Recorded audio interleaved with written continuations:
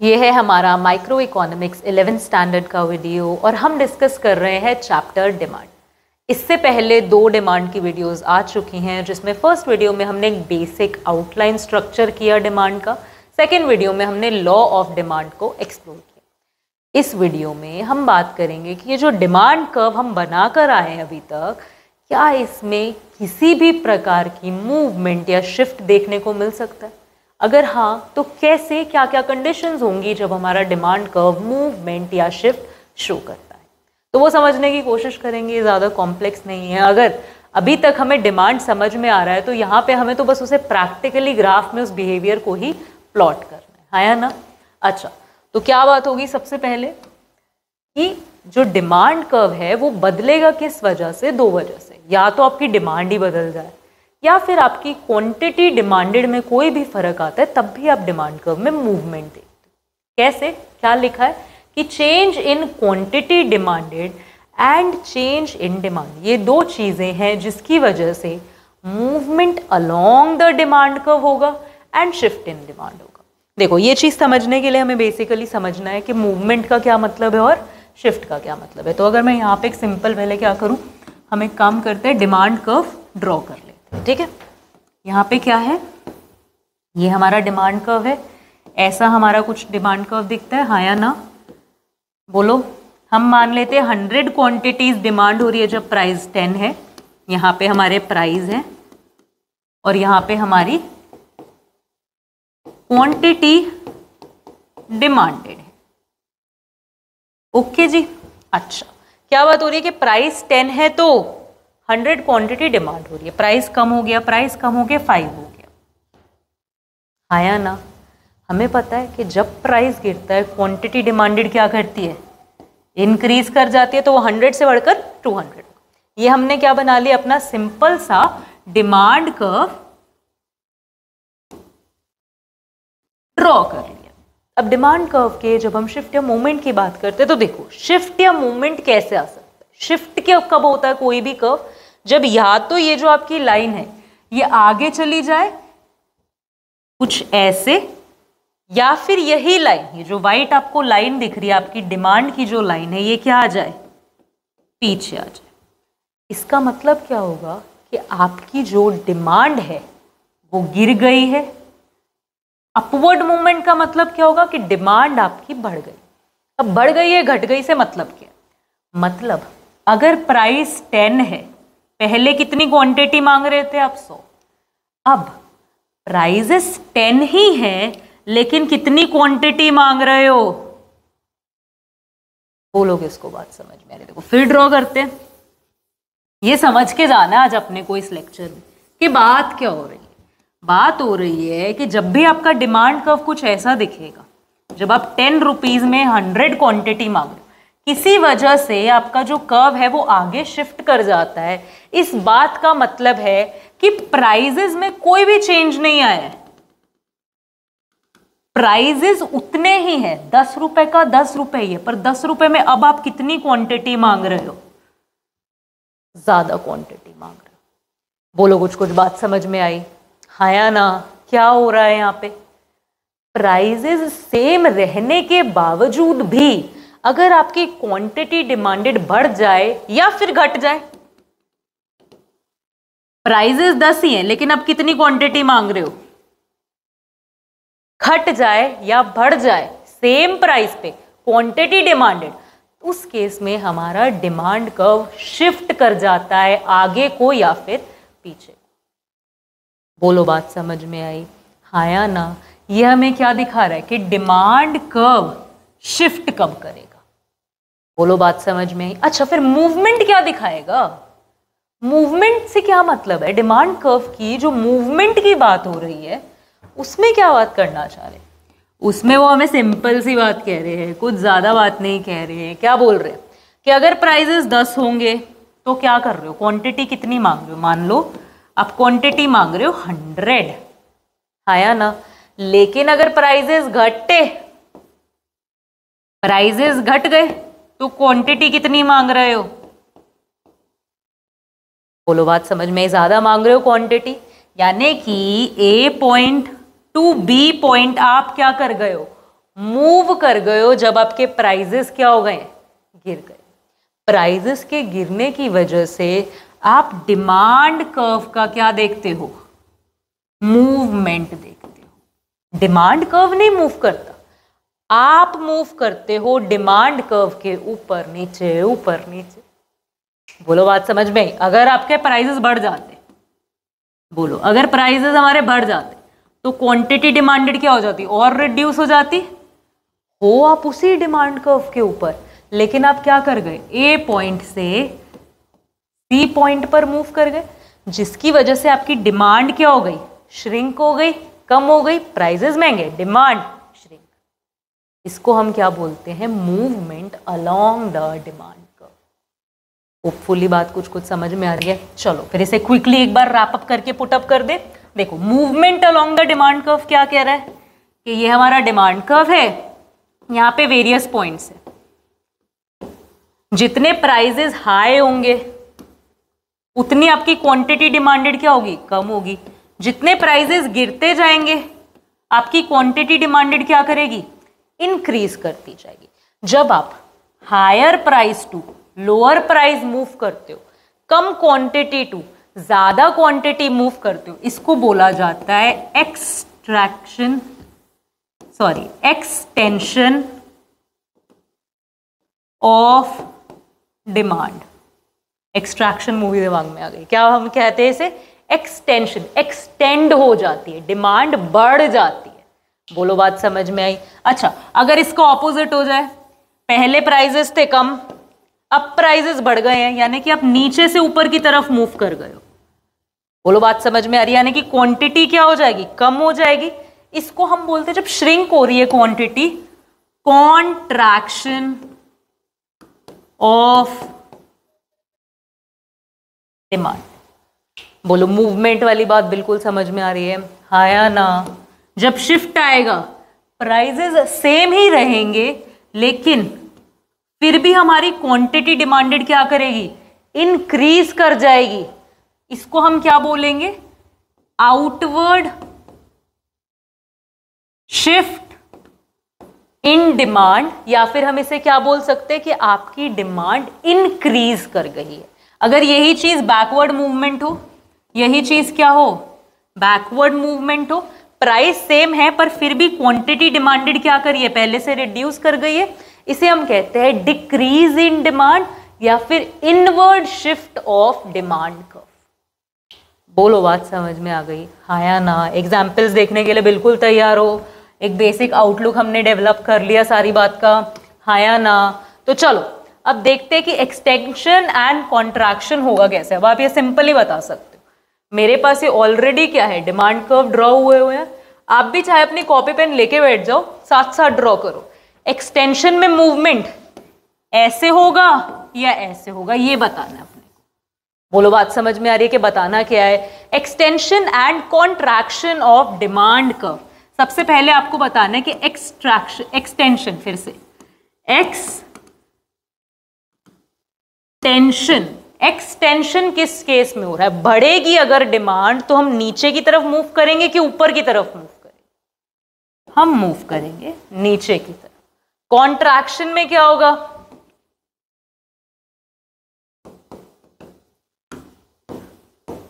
बोलो किसको बात समझ में आ रही है?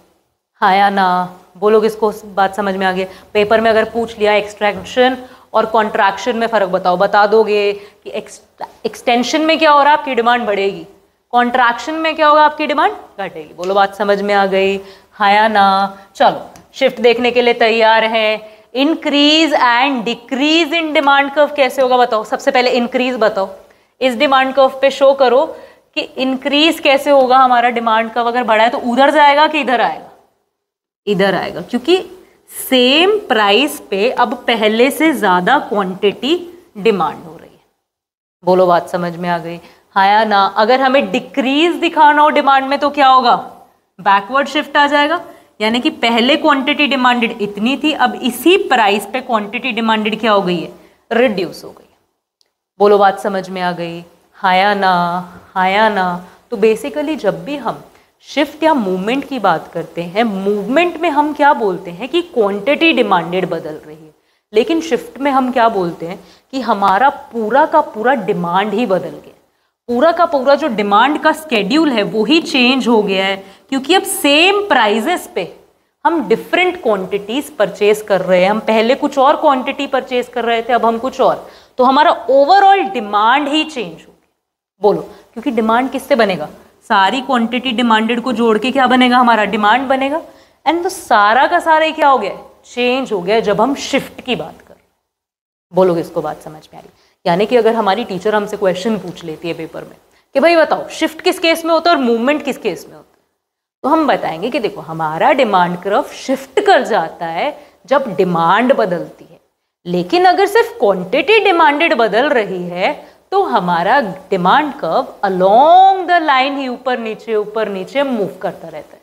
क्योंकि प्राइजेस प्राइजेस के अगेंस्ट जो क्वांटिटी होती है, उनमें कोई बदलाव नहीं आता। उस प्राइस के अगेंस्ट आप उतनी ही क्वांटिटी डिमांड कर रहे हो। तो शिफ्ट में क्या होता है? आप उसी प्राइस के अगेंस्ट एक अलग क्वांटिटी डिमांड करने लग जाते बोलो, बात समझ में आ गई? हाँ या ना होपफुली क्लियर हो गया। चलो, अब हम देखने के लिए तैयार है कि किस डिफरेंट डिफरेंट केसेस में हमारा डिमांड कब कैसे शिफ्ट करेगा। ये सारी चीज़ें पढ़कर आयो अब आपको बता पाना चाहिए आपको। मतलब आप मुझे बता पाओ कि क्या अफेक्ट पड़ेगा डिमांड कर्व पे जब हम पढ़ रहे हैं cross price effect substitute goods का क्या अफेक्ट पड़ेगा और कॉम्प्लीमेंट्री गुड्स का क्या अफेक्ट पड़ेगा। बोलो, बात समझ में आ गई। हाया ना, आपको क्या बताना है? सबसे पहले सब्सटीट्यूट गुड्स देख रहे हैं। सब्सटीट्यूट गुड्स कौन सी होती थी? जिन गुड्स आपकी एक तरीके से कंपटीशन या रिप्लेसमेंट है। अगर मुझे कॉफ़ी नहीं मिली तो मुझे चाय भी चलेगी। तो चाय एंड कॉफ़ी मेरे लिए सब्सटीट्यूट गुड हो जाते आया ना तो यहाँ पे हम क्या नोटिस कर रहे हैं कि जो प्राइस ऑफ़ सब्सटीट्यूट गुड है, वो इंक्रीज कर गया यानी कि अगर मैं कॉफ़ी की डिमांड स्टडी कर रही हूँ, किसकी डिमांड स्टडी कर रही हूँ? लेट्स से मेरे सब्सटीट्यूट गुड्स क्या है? कॉफ़ी एंड टी बोलो बात समझ में आ रही है। कभी भी क्वेश्चन सॉल्व करना है, कभी भी ग्राफ ड्रॉ करना है सिंपल चीज़ क्या है? कुछ ना कुछ एग्ज़ाम्पल सोच लो। रिलेशनशिप स्टैब्लिश करना बहुत आसान हो जाता है। बोलो बात समझ में आ रही है? अच्छा तो मैं किसकी स्टडी कर रही हूँ? मैं स्टडी कर रही हूँ कॉफ़ी की। बोलो बात समझ में आ गई। तो मैं क्या पढ़ रही हूँ? Increase in price of substitute good substitute good क्या है? चाय। चाय के प्राइजेस बढ़ गए हैं। आया ना तो चाय की डिमांड क्या होने वाली है? घटने वाली है। आया ना सब्सटीट्यूट गुड्स है। जो लोग चाय की डिमांड घटाएँगे, वो अब क्या मांगेंगे? कॉफ़ी मांगेंगे? आया ना, कॉफ़ी की डिमांड क्या होने वाली है? इंक्रीज होने वाली है। मतलब मैंने कॉफ़ी के प्राइजेस में कोई चेंज नहीं किया। प्राइजेस उतने ही हैं। प्राइजेस अगर दस रुपए थे तो दस रुपए ही हैं। लेकिन दस रुपए पे पहले पाँच लोग मांग रहे थे कॉफ़ी, अब कितने मांग रहे हैं? दस लोग कॉफ़ी मांग रहे हैं। तो मेरा डिमांड कर्व कहाँ शिफ्ट करेगा? फॉरवर्ड शिफ्ट कर जाए। अगर मेरा सब्सटीट्यूट गुड का प्राइस डिक्रीज कर गया, यानी कि चाय सस्ती हो गई है, चाय का प्राइस जो था बोलोगे इसको बात समझ में आ रही है। तो चाय की डिमांड क्या होने वाली है? ज़्यादा होने वाली यानी कि मेरे कस्टमर्स ही तो उधर जाएँगे। मैं कॉफ़ी स्टडी कर रही हूँ ना। मेरे कस्टमर्स ही तो उधर जाएँगे। हाँ ना तो कॉफ़ी की डिमांड क्या होने वाली है? कम होने वाली है। मतलब सेम प्राइस पे ही अब लोग कम कॉफ़ी खरीदेंगे तो डिमांड कर्व क्या करेगा? बैकवर्ड शिफ्ट कर। बोलो बात समझ में आ गई। हाँ ना? नेक्स्ट क्या रिलेशन देख रहे हैं? देखो, अब हम देख रहे हैं अच्छा नहीं इनकम अफेक्ट से पहले हम देख रहे हैं कॉम्प्लीमेंट्री गुड्स का क्या फ़र्क पड़ेगा? कॉम्प्लीमेंट्री गुड्स के प्राइजेस में चेंज आने की वजह से डिमांड कर्व कैसा बिहेवियर दिखाएगा, क्या शिफ्ट लेगा? बोलो बात समझ में आ रही है। हाँ या ना? कॉम्प्लीमेंट्री गुड्स होते कौन से थे? कॉम्प्लीमेंट्री गुड्स वो गुड्स होते थे जो एक दूसरे के साथ जाते थे। ब्रेड और बटर हाँ ना? पेस्ट्री और कॉफ़ी जो चीज़ें लोग साथ साथ में यूज़ करते हैं। पेट्रोल और कार बोलो बात समझ में आ रही है। क्या हो रहा है? Increase in price of complementary goods हमने क्या अप्रोच उठाया कि एग्ज़ाम्पल उठाओ। ब्रेड बटर उठा ले। हाँ या ना? अच्छा ब्रेड बटर उठा लिया। अब डिफाइन करो कि आप स्टडी किस चीज़ की कर रहे हो। बोलो ब्रेड की करनी है बटर की करनी बटर की करें? चलो, हम स्टडी कर रहे हैं बटर की। तो यानी कि मेरा कॉम्प्लीमेंट्री गुड क्या हुआ? ब्रेड हुआ? हाँ या ना? क्या बोल रहे question increase in price of complementary good यानी ब्रेड का प्राइस बढ़ गया। ब्रेड का प्राइस बढ़ा तो ब्रेड की डिमांड क्या होने वाली है? घटने वाली है। हाँ या ना ब्रेड की क्वांटिटी डिमांडेड क्या कर जाएगी? डिक्रीज कर जाएगी। यानी कि अगर लोग ब्रेड कम खरीदेंगे तो बटर भी कम खरीदेंगे, मेरी डिमांड भी क्या करेगी? रिड्यूस करेगी। मैंने अपने प्राइसेस में कोई चेंज नहीं किया। लेकिन पहले दस रुपये में लोग दो बटर खरीद रहे थे। अब दस रुपये में लोग एक ही बटर खरीदते। वो लोग इसको बात समझ में आ रही कैसे एस्टैब्लिश करने का? समझ आ रहा है कि अटेम्प्ट क्या होना चाहिए हमें। इन क्वेश्चंस को इन इस, इस टॉपिक को समझने का। बोलो decrease in price of complementary good bread का प्राइस क्या हो गया? डिक्रीज कर गया। ब्रेड की डिमांड क्वांटिटी डिमांडेड क्या करेगी? इंक्रीज करेगी। लोग अगर ब्रेड ज़्यादा खरीदेंगे तो बटर भी ज़्यादा खरीदेंगे। सेम प्राइस पे अब मैं पहले से ज़्यादा क्वांटिटी बेच पा रही बोलो किसको बात समझ में आ रही है? आया ना? क्लियर हो रही है हमको ये बात? बोलो बोलो। नेक्स्ट हम क्या पढ़ रहे हैं? इनकम अफेक्ट यानी कि relationship between income and demand अच्छा अगर थोड़ा सा दिमाग लगाएँ तो इनकम और डिमांड के बीच में कैसा रिलेशन अगर आपकी इनकम बढ़ जाए, आप पहले सौ रुपये कमा रहे थे, अब आप दो सौ रुपये कमाने लग गए तो आपकी डिमांड बेटर होगी या कम हो जाएगी? बेटर होगी, बढ़ाओगे, खर्चा बढ़ाओगे? हाँ या ना? तो हमें समझ आ रहा है कि इनकम और डिमांड के बीच में एक डायरेक्ट रिलेशन होगा। हाँ या ना? लेकिन जो हम ये डिमांड कर रहे हो, जो गुड्स आप की डिमांड क्रिएट कर रहे हो मार्केट में, दो टाइप्स की होंगी। नॉर्मल गुड्स और एक गिफन गुड्स नॉर्मल गुड्स क्या होंगी? जो आप नॉर्मल क्वालिटी गुड्स अपनी ज़िंदगी में यूज़ कर रहे हो। गिफन गुड्स क्या होती हैं? जो बहुत ही लो क्वालिटी गुड्स हम अपनी डे टू डे लाइफ में यूज़ करते हैं। कैसे समझ सकते हैं इसको? कि ये अलग कैसे हो जाती है नॉर्मल गुड्स से? कि कई बार जैसे संडे मार्केट्स लगती हैं, या फिर वीकेंड मार्केट्स लगती हैं, या फिर वीक डे मार्केट्स भी लगती है कई कई जगहों में सोसाइटीज़ में, वहाँ पर जनरली क्या होता है, काफ़ी सस्ते दामों में चीज़ें मिलती हैं। उन सस्ते दामों का जनरली कारण क्या होता है कि क्वालिटी काफ़ी लो होती है। आया ना? तो अगर आपकी इनकम बेटर हो जाएगी तो ऐसी गुड्स लो क्वालिटी गुड्स आप ज़्यादा खरीदोगे या कम खरीदोगे? दिमाग लगाओ। जैसे कि अगर हम एक नॉर्मल हाउस होल्ड बिल्कुल हम घरों में ब्रेक डाउन करके समझते हैं चीज़ को कि नॉर्मल हाउस होल्ड की बात करें। आपके मेरे घरों पे दालें यूज़ होती हैं। हाँ या ना? अभी हम एक नॉर्मल क्वालिटी दाल को यूज़ कर रहे हैं। लेकिन अगर हमारे घर वालों की सैलरी है जो भी इनकम सोर्स है, वो ऑलमोस्ट डबल ट्रिपल चार गुना हो जाए तो हमारे घर पे बातचीत कैसे हुई अरे, वो ऑर्गेनिक दालें लेके आओ ना। ये वाली दालें अच्छी क्वालिटी की नहीं होती। बोलोगे इसको बात समझ में। ऐसी गुड्स जो बेसिकली हम अपनी डे टू डे लाइफ में यूज़ कर रहे हैं पर जिनका क्वालिटी उतना बढ़िया नहीं है सुपीरियर नहीं है, उसको हम बोल देते हैं गिफन गुड्स बात समझ में आ रही है? तो जैसे ही हमारी इनकम बेटर होगी, हम इन गुड्स का कंजम्पशन इन गुड्स की डिमांड बढ़ाने की जगह क्या कर देंगे?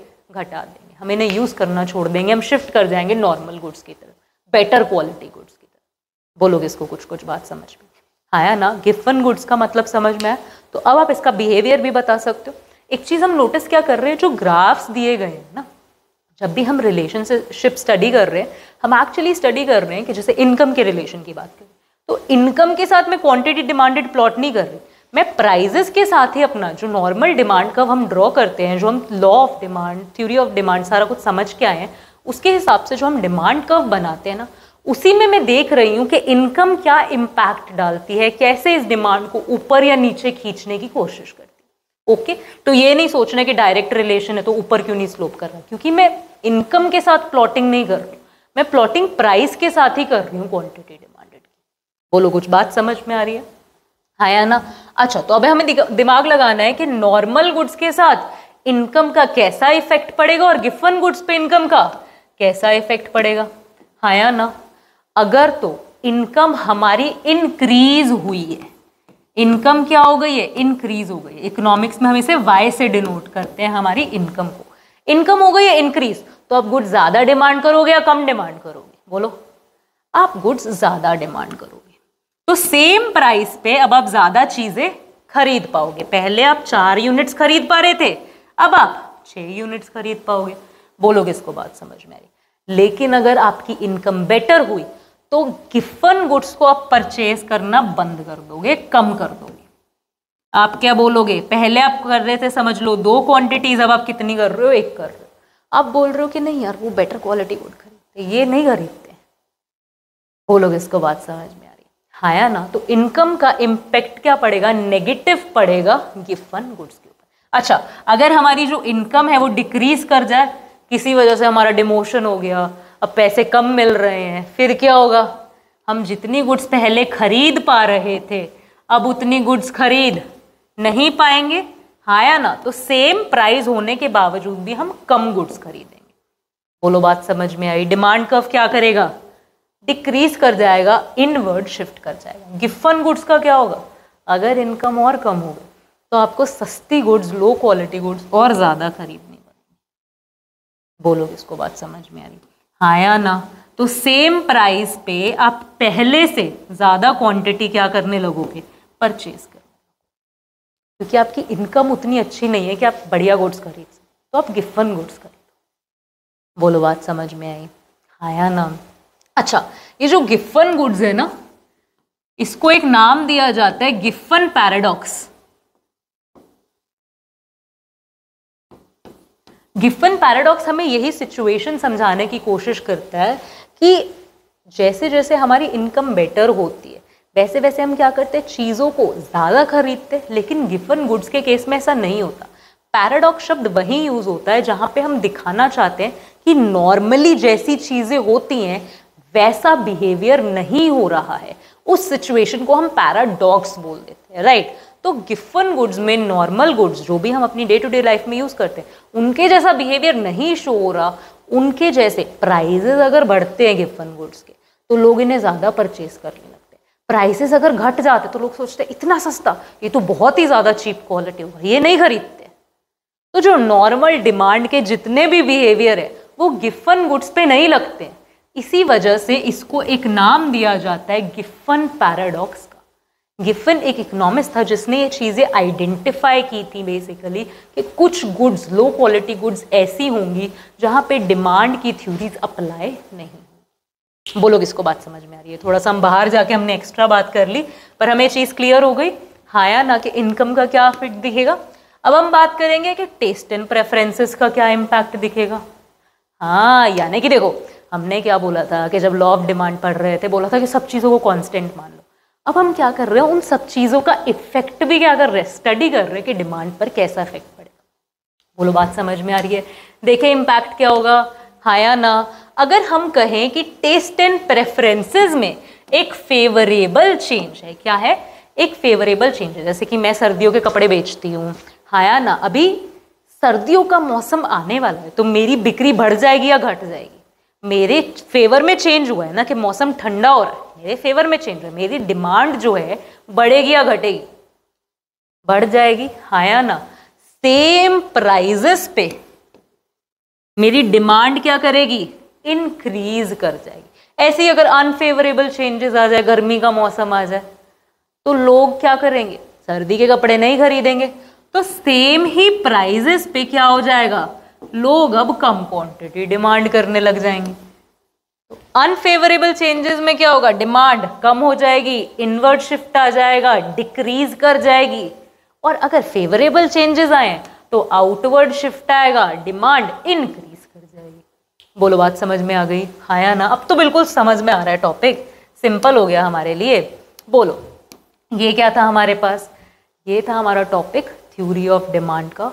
होपफुली हमें चीज़ें बिल्कुल क्लियर हुई होंगी।